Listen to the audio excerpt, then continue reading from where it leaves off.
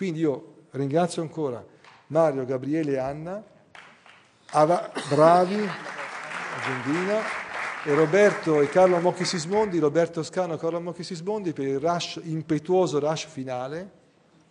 Impetuoso. No, beh, grazie. No, impetuoso perché dovete sapere che Carlo Mocchi Sismondi fino a pochi giorni fa camminava con la stampella, ci ha raggiunto adesso con uno scatto da centrometrista. È passato e mi ha miracolato con tecnologia solidale. Allora, diciamo che essendo in avvento, essendo che si avvicina il Santo Natale, altri fanno quel tipo di miracolo, io no, e quindi più modestamente sono contento di vederlo che è stato brillante e scattante. Carlo era con noi già l'anno scorso e come l'anno scorso è stato con noi dall'inizio alla fine, cioè ascoltando tutto. Lo dico semplicemente, dico due, non ha bisogno di presentazioni, ma per i pochi che nel mondo non sapessero chi è Carlo Mocchi Sismondi, è l'inventore del forum PA, che da l'anno prossimo sarà il ventiseiesimo anno. Studiato, raccoglie nel mondo della pubblica amministrazione gli innovatori. Lui organizza ogni anno il forum PA a fine maggio qui nella capitale e quindi è un alfiere, ormai dovrebbero dargli qualche medaglia, qualche riconoscimento, vedremo, dobbiamo lavorare qualche cavalierato, qualche cosa di questa natura uh, per l'innovazione. Roberto Scano qui alla mia sinistra è colui che ha messo in moto devo dire, eh, Bruno Calchera è stato l'iniziatore fisico di questo, ma Roberto è, stato nel 2002 colui il quale eh, ha messo in moto il mio interesse per il tema dell'accessibilità. Che cos'è accessibilità? È l'abbattere, lo dico eh, velocemente, le barriere digitali, le barriere architettoniche digitali che impediscono alle persone con disabilità di utilizzare il web. Allora, grazie a lui presentammo con il collega Campa la proposta di legge Campa Palmieri, che già di per sé sarebbe stato un buon augurio, e, e come vedete ha funzionato almeno fino adesso, e che fu l'origine della legge eh, stanca sull'accessibilità, prima legge in Europa su questa materia, peccato che a distanza di dieci anni, perché la legge del 2004, e adesso ce lo dirà Roberto, questa è infatti la prima domanda, questa legge, l'accessibilità nei siti internet della pubblica amministrazione resti ancora un obiettivo quanto lontano da raggiungere? Eh, domanda di riserve? No, non no, si può. Okay. La, la riserva per l'anno prossimo. Uh, siamo ancora parecchio indietro. Uh, come mi piace dire ultimamente, la, uno dei principali disabili è proprio la pubblica amministrazione, che non sente le esigenze del cittadino disabile e non vede gli errori che quotidianamente fa quando pubblica servizi e contenuti. Uh, essenzialmente c'è un problema, come, come, diciamo sempre Antonio dagli ultimi 12 anni che ci vediamo sempre a, a convegni e iniziative, è un problema di, uh, di, conoscenza degli strumenti, di cultura, delle, eh, soprattutto di capire quali sono le difficoltà che hanno i cittadini disabili a usare i servizi della pubblica amministrazione. Uh, pensiamo all'errore più grande che troviamo nei siti web, i documenti inaccessibili, i classici PDF scan- scannerizzati, scanditi e pubblicati online. Uh, lì è un problema di cultura del documento, perché un documento uh, pubblicato in modalità scandita è anche archiviato dalla pubblica amministrazione in modalità scandita, quindi stanno archiviando immagini, stanno archiviando contenuti che, pensando proprio all'applicativo, ad esempio, che utilizza uh, per la dislessia, non consente di prendere il testo e rielaborarlo per persone che hanno particolari necessità. Quindi c'è proprio una mancanza di cultura su questa tematica. E dati recenti non ne abbiamo, però effettivamente i problemi più grandi sono due, cioè eh, più giriamo per i siti web delle PA, più ci accorgiamo che i servizi soprattutto non sono accessibili. Quindi non solo purtroppo le informazioni, ma anche i servizi. Troviamo persone che non, non riescono, ad esempio, a, uh, in questi giorni si paga la Tasi, a pagare la Tasi online se hanno disabilità. Devono andare agli sportelli, cioè non possono utilizzare la tecnologia che abbatte le barriere, effettivamente, crea nuove barriere Altro problema, tra l'altro, andando oltre i siti web, è la problematica delle smart city. Uh, quando nel 2012 c'era la cabina di regia del governo Monti, all'epoca ho rotto parecchio le scatole, cioè chi mi conosce sa che sono un rompiscatole su queste tematiche, uh, per portare la tematica dell'inclusione digitale anche alle tecnologie smart city Perché è inutile che adesso parliamo tanto di smart city, apro e chiudo, ho fatto polemica qualche settimana fa su una rivista dicendo che per me in Italia non esistono le smart city, ci sono tentativi di smart city, ma non esistono le smart city vere e proprie. Il problema è creare tecnologie smart city, ma uh, se creiamo nuove barriere a persone con disabilità, uh, stiamo creando nuovi problemi. Quindi la tecnologia nasce neutra, chiaramente, perché nasce come beneficio per tutti. Il web nasce per tutti. Il mio capo, Tim Berners-Lee, quando si inventò il web, ha creato qualcosa all'epoca per, per consentire a tutti di poter dialogare, quindi non creare barriere. Per quello il web per natura deve essere accessibile, la tecnologia deve essere accessibile, deve essere pensata per tutti, altrimenti non è tecnologia, è soltanto un qualcosa per una limitata categoria di persone. Carlo, la tua, la, la tua eh, mi sa che adesso, ecco qua. Eccoli qua. Dicevo Carlo, la, per la tua esperienza, per le cose che abbiamo sentito adesso da Roberto e per quello che abbiamo sentito nell'arco di questo pomeriggio, per il tuo carattere indomito che ti porta da 26 anni, cioè, diciamo che teoricamente ti saresti già dovuto sciogliere nel senso di avere già raggiunto l'obiettivo. No, in realtà no. Eh. In realtà no, eh, eh, 17 governi con cui ho più o meno combattuto non, non mi sono bastati a, a farmi occupare d'altro che dell'innovazione della pubblica amministrazione, mi sembra che ancora ce ne sia abbastanza bisogno provo a, ragionare su, mentre pensavo a come, come, sarei potuto intervenire utilmente, mi chiedevo, ma una pubblica amministrazione che voglia favorire in qualche modo questa tecnologia solidale, cosa dovrebbe fare? E, e mi sono venuti in mente eh, cinque eh, miti che sentiamo dire continuamente e che sono probabilmente degli ostacoli estremamente importanti. Un primo mito è che per la tecnologia solidale non è frutto di solo tecnologia, è vero, ma senza tecnologia non si fa. Cioè, abbiamo bisogno di buoni technology, abbiamo bisogno di buone competenze digitali, abbiamo bisogno di buone competenze digitali all'interno di chi fa tecnologia, di chi fa impresa, di chi sviluppa, ma anche abbiamo bisogno di una cultura digitale almeno sui fondamentali di chi dirige questo Paese, perché è un Paese in cui la, la, la, la politica e il vertice amministrativo sono del tutto indifferenti alla cultura digitale, non può creare di, cultura digitale. Non creando cultura digitale non fa neanche tecnologia solidale, perché non è neanche capace di immaginare cosa ci si può fare con la tecnologia. Ehm, stimo molto il gruppo del, del, che è nato in questa legislatura dell'intergruppo innovazione. Siete un gruppetto um, sulla carta um, abbastanza numeroso, un po' meno a partecipare alle riunioni, però certamente um, è un, già un inizio. Quando qualche anno fa facemmo, provammo a fare un corso per deputati spiegandogli che cos'era internet, non venne nessuno, gratis, eh, cioè, no, veramente solo... Il... Sapevamo già tutto, sì, quindi era eh, inutile... Eh, allora, questo è il primo, primo assioma. Secondo assioma, essere una PA solidale non, è, non, può essere compito solo della pubblica amministrazione, creare tecnologia solidale si fa insieme. Parlava delle smart city, così come una smart city non può essere il compito di un municipio, non esiste lo smart municipio, esiste una smart city se ci, ci si muove insieme pubblico, privato, terzo settore, cittadinanza organizzata, ci si muove insieme così per fare tecnologia solidale e non si può che vedere come opportunità la complessità della società. La complessità della società non è un rischio, è una grande opportunità per una pubblica amministrazione che è capace di uscire dal palazzo. Certo, se non esce dal palazzo non la vede, se rimane nel suo ufficio questo non la vede. Allora la prima cosa, in questo secondo punto, nel primo punto fai cultura, eh, impara, studia, studia tutti, studia i ministri, studiano i sottosegretari, studiano i deputati, studiano i vertici amministrativi, almeno non sentiremo dire delle bestialità così in questi anni, abbiamo sentito dire delle bestialità dalla politica sulla tecnologia, che non è questione di tecnologia, io sono laureato in filosofia, non è che bisogna essere technology, ma a volte ci sono delle cose che come se ti dicessero andiamo, possiamo andare in aereo da Roma a New York in un quarto d'ora, tutti sappiamo che è impossibile, eppure non è che abbiamo fatto ingegneria dei trasporti, sappiamo che alcune cose sono impossibili, così sappiamo che alcune cose dette dai nostri politici sono impossibili. Terzo assioma, ma non, non è questione di soldi, ma che stiamo scherzando? È anche questione di soldi. L'innovazione senza soldi non si fa.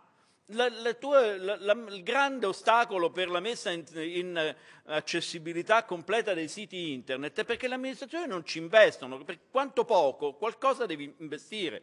Allora se tu l'innovazione a costo zero è una bufala, non ci credete, non esiste innovazione a costo zero. Esiste innovazione buona che ora ci fa spendere e domani ci fa risparmiare. Nella pubblica amministrazione non è neanche tanto, tanto vero questo. Esiste innovazione buona che oggi ci fa spendere e domani ci fa dare servizi migliori, quindi essere più, com, più compliant a quello che è il nostro scopo di, di, amministrazione, cioè fornire buoni servizi ai cittadini che ci pagano con le tasse. Non, non, il nostro compito non è risparmiare, il nostro compito è fornire buoni servizi a chi ci paga nel patto sociale ci paga con le tasse.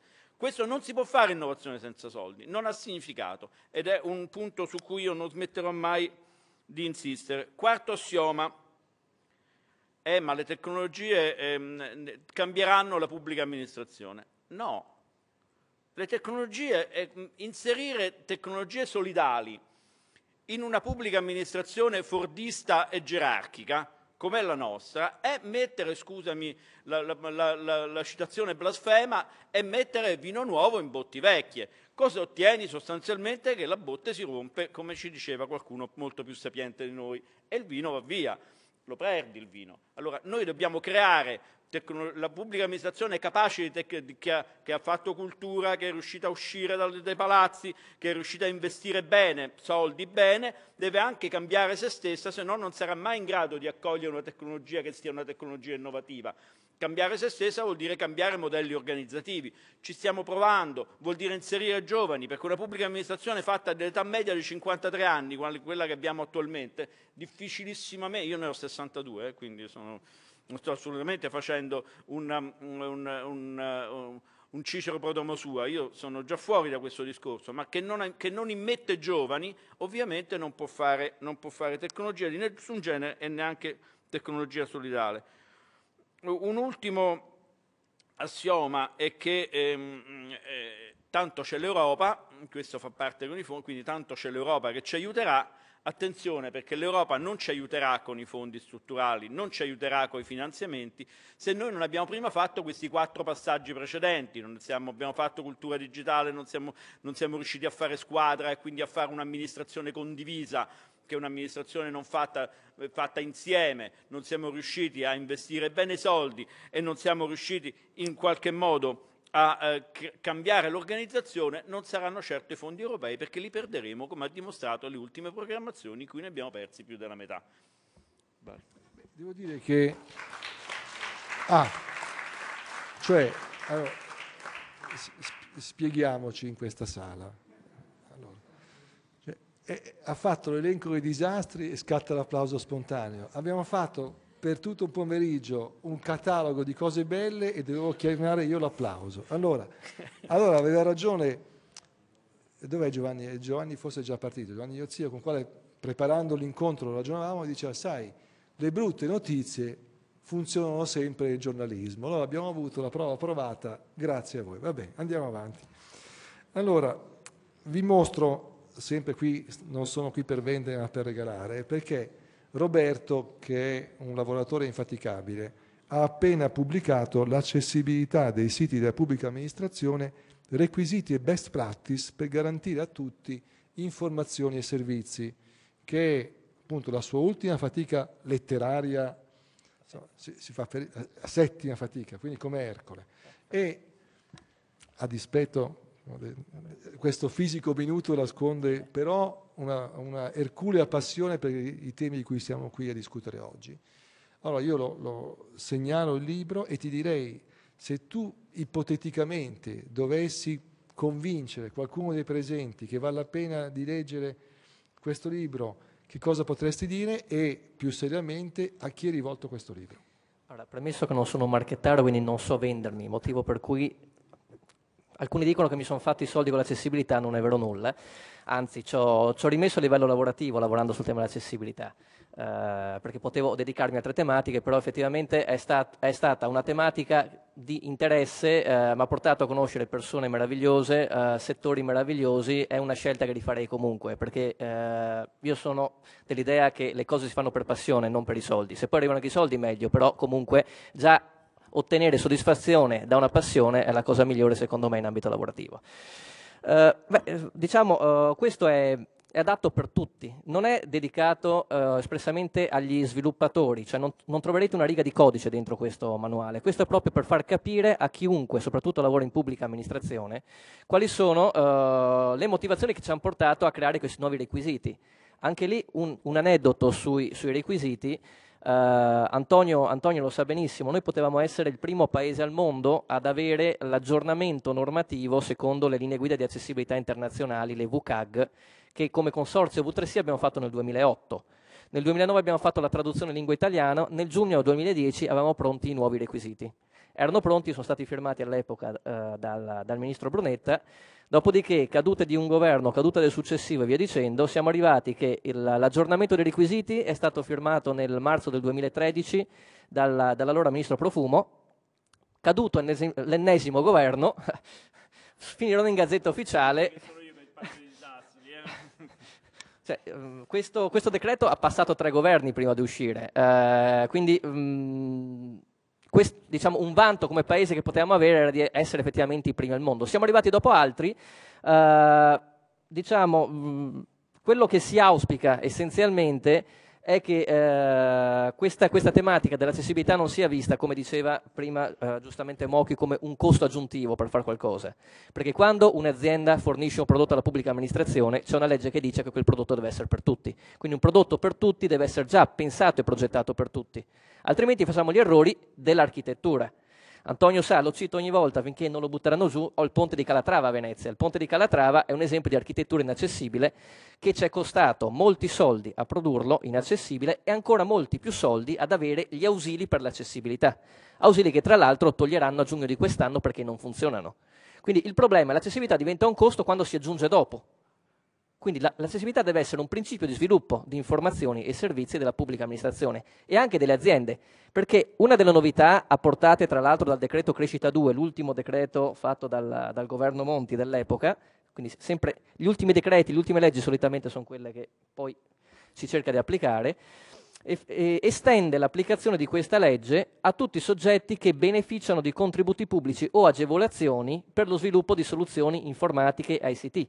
Quindi che significa? Uh, una cosa che è passata un po'... Oh, un po', mh, è stata poco, poco, poco, portata a risalto della stampa, anche ad esempio i contributi che sta dando, che, do, che, che dovrebbe dare il credito d'imposta il ministro Franceschini per quanto riguarda i siti web e i servizi web dedicati al turismo, eh, chi otterrà il credito d'imposta dovrà sviluppare servizi accessibili a tutti, perché come abbiamo modificato la normativa, l'idea è che chiunque beneficia di contributi pubblici per creare qualcosa di pubblico deve farlo per tutti.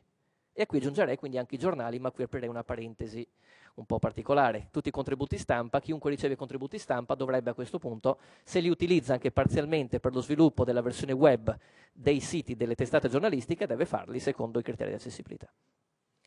Allora ringrazio Roberto. Carlo, eh, eh, insomma, adesso cioè, hai avuto il più grande applauso del pomeriggio con l'elenco dei disastri. Adesso la sfida per te è riuscire ad avere un applauso, non dico superiore, ma quantomeno di pari intensità, dando il tuo pronostico però positivo per il 2015. Ma, eh, io non sono del, del tutto, nonostante quello che abbia detto, non sono del tutto pessimista vedo alcuni, alcuni elementi di discontinuità positivi, ehm, in generale per la tecnologia del Paese e in particolare per la tecnologia solidale. Un primo che sembra banale, vedo un sacco di assessori giovani nel, che si occupano di innovazione nelle città e che hanno voglia di fare. Se, mh, ci sono una serie di assessori di tutti i partiti, così non, non siamo da dell'Inoci a, a, Lecce di Forza Italia, a, a, Marani a Parma di 5 Stelle, a tutti gli assessori, la, la Leonori a Roma, Tajani a Milano, la, la, tanti assessori giovani che hanno voglia di fare e che sono eh, tutti sotto i 40 anni e stanno, stanno scommettendo in un'amministrazione che diventa inclusiva tramite le tecnologie. Questo è un dato molto positivo. E se ehm, riusciremo a dargli un po' di credito, un po' di spazio, farli anche incontrare insieme, noi ci proviamo come forum, ma ci possono essere mille occasioni di farli incontrare insieme per un sentirsi un po' con una massa critica, cioè il rischio è che ognuno si senta un po' solo, questo è un dato positivo. Un secondo dato positivo è che vedo un'attenzione molto maggiore da parte delle del, delle, delle, imprese. Cioè, le, le, imprese hanno capito che non, una tecnologia che non sia inclusiva non è una tecnologia che possono riuscire neanche a vendere, cioè quello che le amministrazioni forse hanno capito meno, le, le imprese hanno, l'hanno capito molto bene. Come dire, una tecnologia che non inclusiva non è che non è buona per i disabili, non è buona per nessuno perché, quindi come una scuola che non è adatta ai disabili non è una scuola buona per nessuno e questo è un principio, una pubblica amministrazione che non è aperta a tutti non è buona per, neanche per nessuno. Allora, questo principio di inclusione vedo che soprattutto dal punto di vista delle imprese è stato più eh, recepito. Terza speranza, ma questa è veramente una speranza per buttare il cuore oltre l'ostacolo, cominciamo ad avere nella pubblica amministrazione un uno straccio di piano sulla digitalizzazione e quindi la speranza è che da eh, eh, una governance ancora molto incerta ma che comincia a intravedersi nella nebulosa un qualche, un qualche ordine costituito come le prime costellazioni e quindi spero che da lì, perché certamente un'innovazione così difficile è molto difficile farla se non c'è una governance e non c'è un piano.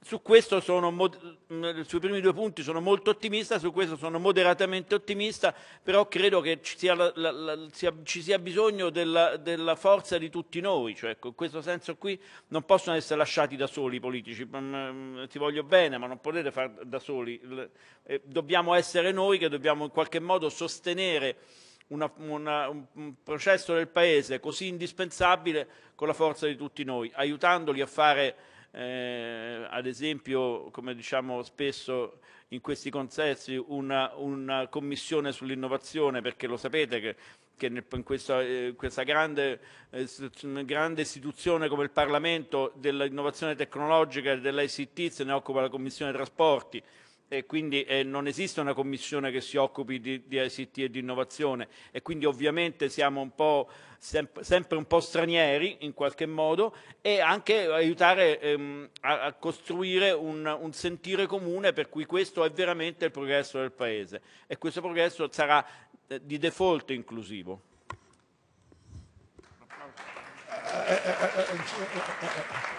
Ovviamente eh, eh, sulle speranze, le, le, speranze vanno più che applaudite, vanno perseguite.